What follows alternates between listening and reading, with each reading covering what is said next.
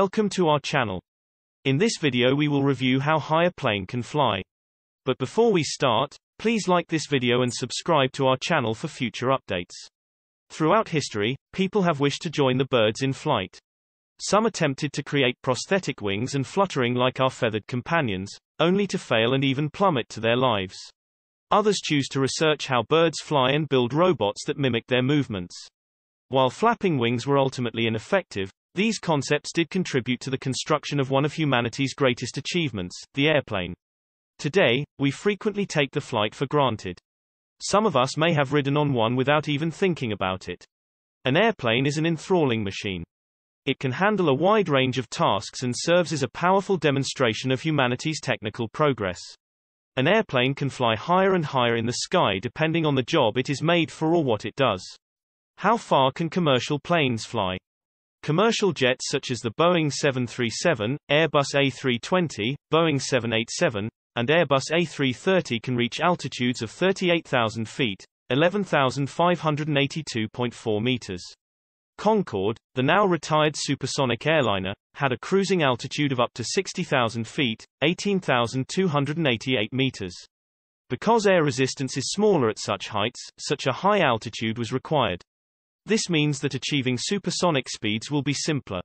Indeed, jet aircraft have one advantage over propeller aircraft, they fly faster and have smoother flights because propeller planes can only fly at higher altitudes where turbulence is more common. How far can propeller planes fly? Propellers are used in many different types of aircraft. The piston engine plane, whose engine is comparable to that of an automobile, is one type. This type of plane includes the ubiquitous Cessna 172, the world's most common aircraft. The turboprop engine is the other type.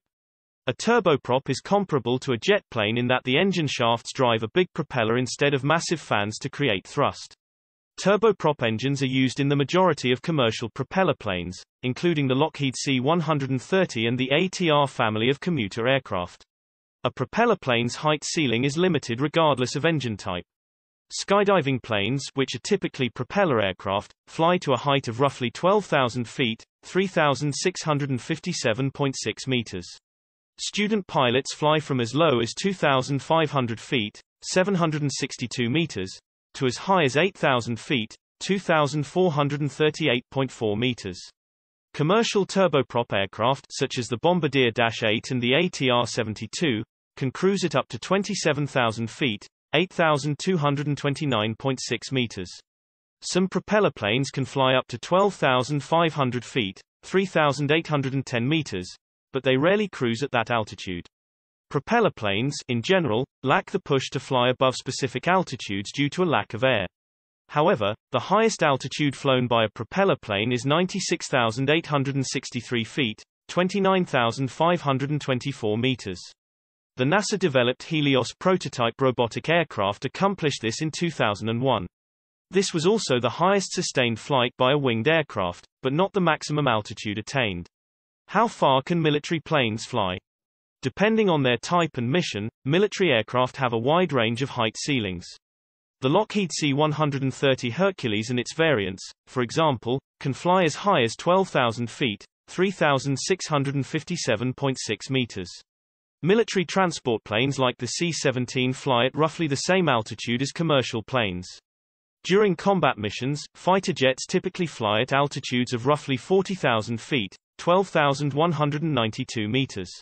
When necessary, they may rise and fly as high as 65,000 feet, 19,812 meters. This can occur during dogfights as well as in other situations.